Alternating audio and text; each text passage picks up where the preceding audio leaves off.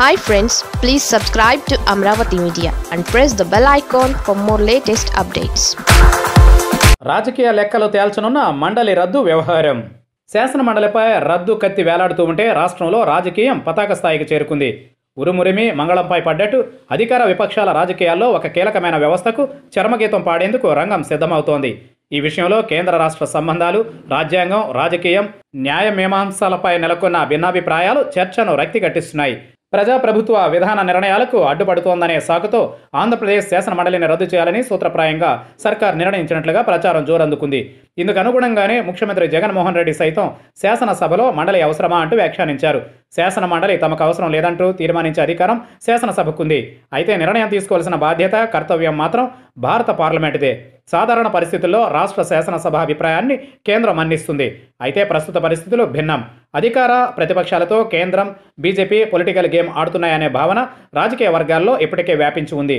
ఒకవైపు బీజేపీ మూడు రాజధానులకు ససేమీరా అంటూ ఉద్యమానికి మద్దతు ప్రకటిస్తోంది. మరోవైపు కేంద్రం ఎక్కడా కనీస స్పందన కనబరచడం లేదు. ఈ పరిస్థితుల్లో శాసన మండలి రద్దుకు శాసనసభ తీర్మానం చేసి పంపితే కేంద్ర వైఖరి సైతం స్పష్టమవుతుంది.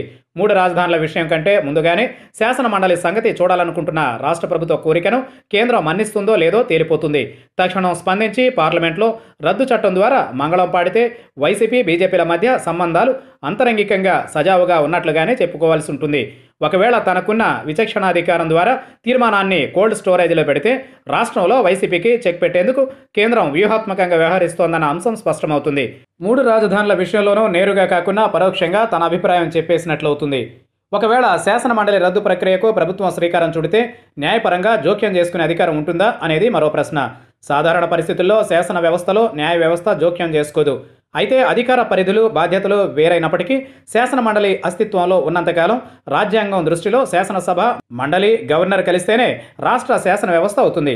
న్యాయ వ్యవస్థ సైతం మండలికి శాసనసభతో సమ ప్రతిపత్తి ఇస్తుంది. మూడు రాజధానుల విషయం హైకోర్టులో ప్రస్తావనకు వచ్చిన సందర్భంలోనూ ప్రభుత్వ న్యాయవాది మండలి బిల్లును సెలెక్ట్ కమిటీకి పంపిందని చెప్పారు. అంటే రాజధానుల నిర్ణయంలో మండలి పాత్రను ప్రభుత్వం సైతం గుర్తిస్తోందని చెప్పాలి. పార్లమెంట్ ఆమోదించి రాష్ట్రపతి నోటిఫికేషన్తో మండలి రద్దు అయితే పర్వాలేదు.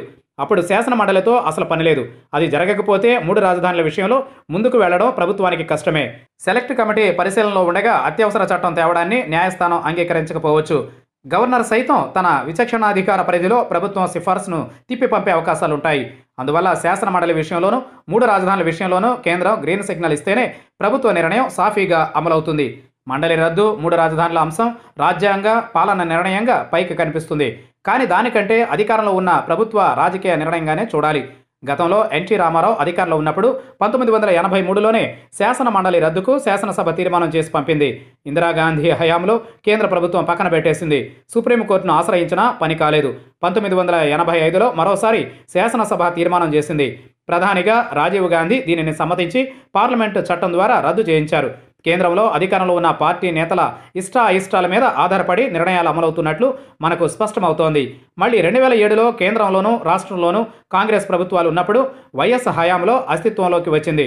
అందువల్ల ముందుగా కేంద్రంతో లాబియింగ్ చేసుకున్న తర్వాతనే రద్దు వంటి నిర్ణయాలు తీసుకోవడం రాష్ట్ర ప్రభుత్వానికి మంచిది. లేకపోతే ఇప్పటికే మండలిలో కొంత భంగపాటుకు గురైన స్థితి. రద్దు తీర్మానం చేసినా కేంద్రం పట్టించుకోకపోతే మరింత ఇబ్బందికర పరిస్థితి తలెత్తుతుంది. మండలి రద్దు ప్రతిపాదనను కేంద్రంలోని political affairs cabinet committee parliamentary affairs committee చర్చించి కేంద్ర మంత్రి మండలికి సిఫార్సు చేయాల్సి ఉంటుంది. రాష్ట్ర ప్రభుత్వం ఎంతో ఒత్తిడి తీస్తే తప్ప బడ్జెట్ వంటి కీలక సందర్భాల్లో ఇటువంటి రాష్ట్ర చట్టాలపై దృష్టి పెట్టడం కేంద్రానికి సాధ్యం కాదని రాజ్యాంగ నిపుణులు పేర్కొంటున్నారు.